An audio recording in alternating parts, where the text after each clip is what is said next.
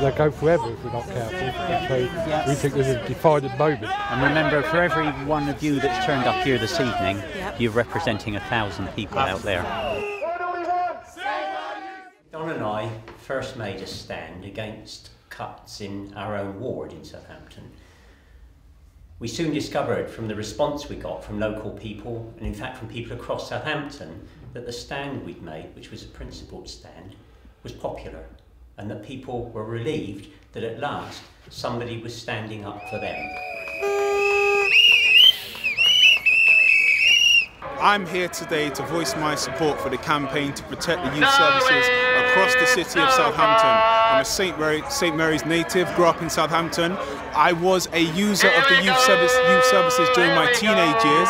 During that time, I made mistakes. The youth services never criticised me, never condemned me, always supported me. And now I have an education and I have a future and I'm working on with my life.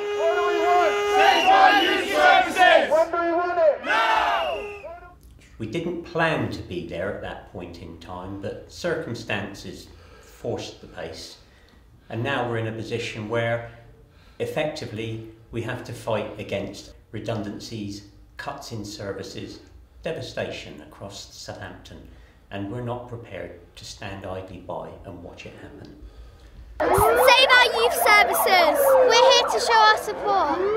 Uh, we don't want them to be closed down. They're very special to us and they mean that we've got somewhere to go. If we don't have youth services, we'll just be stuck inside or on the street. Woo! We propose as two councillors, minority two, but we'll be proposing that instead of making, making cuts this year, that the council use prudential borrowing to keep things going for just 12 months and during that course of time build a campaign, local people, the trade unions, council staff.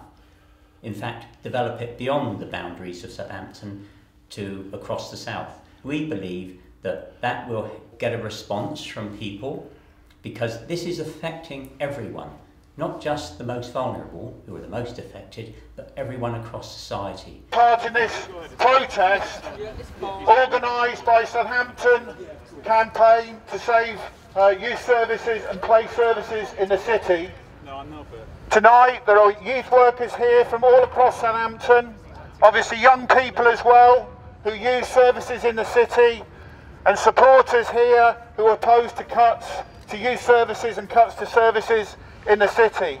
The government recently signed off uh, the first of the contracts for the replacement of the Trident missile system. Six billion pounds signed off. So the money's there. It's just a question of where this government wants to spend it. And the purpose of the protest today is to make it absolutely clear to all councillors in Southampton that they have a responsibility to stand up and fight for the interests of young people and our communities to ensure that we have the services that we pay for and the services that our community need. I don't think enough members of the Labour group in Southampton appreciate that the, the tough decision to cut services and jobs this year is going to be repeated next year and the year after. It's not going to get any easier. Just imagining that all they have to do is put up their hands in February and vote this through, and that's the end of it, is a pipe dream.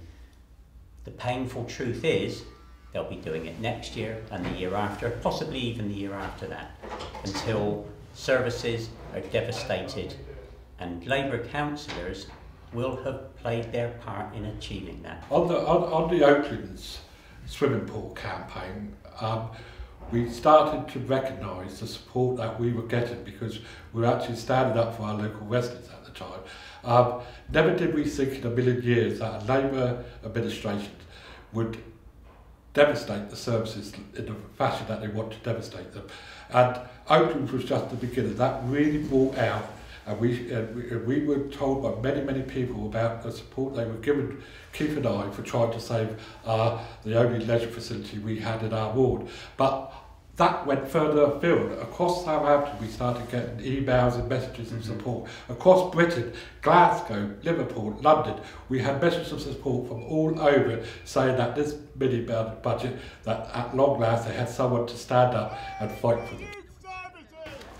Individual members of the unions are giving us support verbally, sending us messages, emails, letters. We're getting messages from individuals and from branches. But also we're getting tremendous support, particularly from the RMT and Bob Crow. We've also had the support, a message of support from Len McCluskey of Unite the Union. And we have no doubt that as this campaign against the cuts begins to develop, that more and more unions and union activists and, and ordinary union members will be willing to sign up to support it.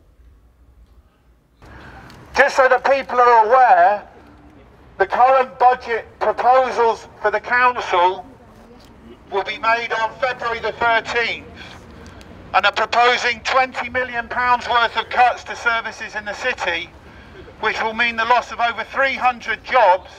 It'll mean cuts to all sorts of services for the homeless, to support families, to libraries, to youth services, across the uh, across the city. I think I think this this whole issue raises the big question of why, when Labour councils across the country are prepared to make cuts, and the Labour leadership goes on record as saying that if the Labour government is elected, they won't be prepared to restore the funding why, is, why would the unions want to continue backing that party? He who pays the piper calls the tune. But in this case, it would appear that the trade unions are paying, but it's still unaccountable, an unaccountable Labour leadership that's calling the tune. I think that the trade unions are going to have to think very carefully about who they support in the future. Don't forget where this all started from and where it's all going. There, it's, no, it's no hidden secret that the coalition government wants to dismantle local authorities across Britain. They want to do that, that's very clear. Where I come to answer what came unbelievable to me after 30 years of being in the Labour Party, that a Labour administration, a Labour opposition and eventually government one day want to continue that dismantling of local government. I mean, the whole concept of local government, you know, our forefathers must be turning in their grave to know that Labour members are having a Conservative-led government to dismantle our facilities. Once these facilities go, and under this administration, I'm sorry to say they are going, but once they go, they go forever. And we need to fight that, and fight that with everything we got. We owe it to our forefathers, we owe it to our children. My name's Dave Nellist. I'm the National Chair of the Trade Unionist and Socialist Coalition.